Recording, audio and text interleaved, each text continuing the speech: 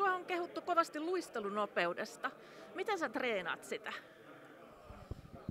Jaa, en mä tiedä miten mä, en mä sinänsä sitä reenaa mitenkään. Ehkä mulla on kans sillä niin liuku on ollut aina aika hyvä, että sitten se on varmaan sellainen valttikortti kanssa. Mutta tota, joo, onhan mä nopea luistelee, mutta en mä mielestäni mitään niin kuin erikoista sen eteen tehnyt sillä niin kuin, että se olisi, olisin erikseen sitä kehittänyt millään.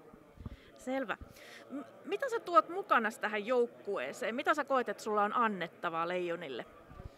No kyllä varmasti just se niin kuin luiste, luistelun, kautta, luistelun kautta tuoda niin kuin sellaista nopeutta peliin ja sitten tietenkin on, tykkään ampua paljon, että täytyy, täytyy toivoa, että ne alkaisi menee tolppien väliinkin pikkuhiljaa ne kiekot. Että tota, koittaa ampua paljon, niin väkisin se joskus aina menee se kiekkokin maaliin. Että tota, sellaista kumminkin niin kuin hyökkäyspään, hyökkäyspäähän teho, tehoja varmasti niin kuin odotetaan ja, ja, ja siihen, siihen yritän, yritän panostaa ja kumminkin sen liikkeen kautta, että kumminkin hyvä luistelee, nopea luistelee, niin käyttää sitä, sitä aseena tuo sitten vastustajia vastaan. Sulla on kokemusta aiemminkin isoista kisoista ja menestystä myös. Minkälaista oppia sä olet saanut niistä, jota voit hyödyntää nyt? No kyllä tietenkin se on huomannut, että nämä on kovia pelejä, kovia pelejä, että ei ole ainuttakaan helppoa peliä, vaikka siellä joku pienempi maa, maa vastassa tai tällainen, niin tota, kovia pelejä on ja sellainen jämäkkyys pitää olla, olla tietenkin peleissä, että tota, vähän ei ole aikaa hirveästi nukahtaa siellä, että virheisiin ei ole liikaa varaa, että siellä on hyviä pelaajia vastassa, että sitten ne rokottaa äkkiä ja tekee, tekee maalin toiseen päähän, jos tekee virheitä, että sellainen virheiden, virheet täytyy ottaa pois, niin sekin, sekin auttaa jo paljon. Miten sä kuvailisit joukkueen henkeä juuri nyt tällä hetkellä?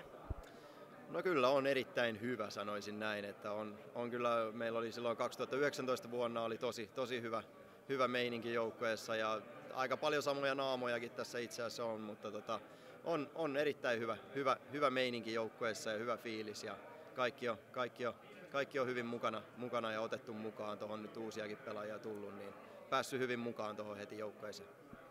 Teillä on tiukka viikonloppu tulossa ja myöskin reissaamista siinä. Uskotko, että se vielä hitsaa joukkuetta paremmin yhteen?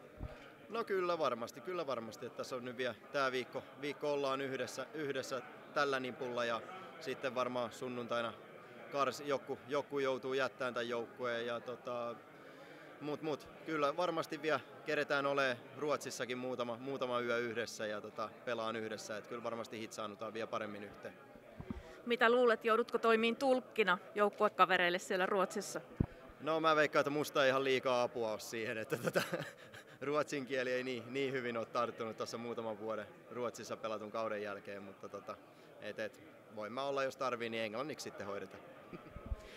Sulla on varmasti faneja, jotka seuraa kovasti, mutta sitten varmasti kotijoukkoja kiinnostaa myöskin menestyminen. Ketä veikkaat, että istuu tiiviimmin siellä telkkarin ääressä tai, tai yleisössä kotijoukoista? No kyllä varmaan isä, isä, isä ja äiti ja varmasti siskokki, että tota, kyllä ne perheenjäsenet varmasti tota, telkkarin ääressä ja varmasti sitten katsomossakin, katsomossakin on, että tuossa torstaina varsinkin tulee varmaan katsoa, niin tota, perheenjäsenet kyllä ne varmasti katsoo kaikki pelit. Minkälainen rooli sun vanhemmilla on ollut sun uralla? No on ollut iso, iso rooli, täytyy, täytyy kyllä hattua nostaa, että jakso, jakso nuorena, nuori, nuori poika kun olin, me alettiin jo parkanosta yhdeksän vanhana käymään jo Tampereella ja siinä kuusi vuotta sitä väliä ajeltiin, niin tota, kyllä täytyy iso hattu nostaa, että ei, ei tässä olisi, jos ei sitä olisi tapahtunut, niin en varmasti olisi tässä pöydän takana nyt antamassa tätä haastattelua. Ja vielä, onko sulla terveisiä faneille? Ei muuta kuin isoa kannustusta, kannustusta nyt ja tota, kumminkin kiekko kansaa, niin kyllä mä luulen, että sieltä ääntä lähtee peleissä ja, ja, ja muutenkin varmasti Tampere, Tampere tulee olemaan aika sekaisin, sekaisin kun täällä alkaa pelit tuossa pyöriin, niin tota, kaikki, vaan, kaikki vaan kannustaa.